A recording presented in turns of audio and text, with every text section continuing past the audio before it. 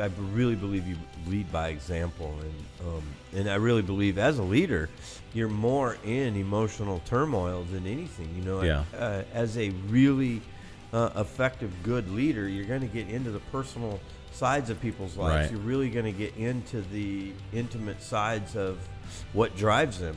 Uh, because as a really good leader, you know that if their personal life is in disarray and they have issues, it will come to work. And it's your job as uh, a good leader is to help them through that, help them get to a good emotional stability side, even in turmoil. And, and I think that that's what makes this book so amazing for me.